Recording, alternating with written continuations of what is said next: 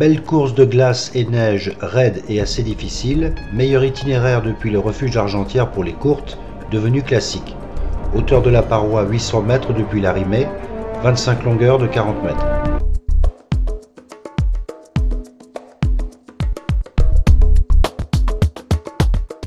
Départ du refuge d'Argentière à 1h moins le quart du matin pour atteindre l'Arimée à 3h.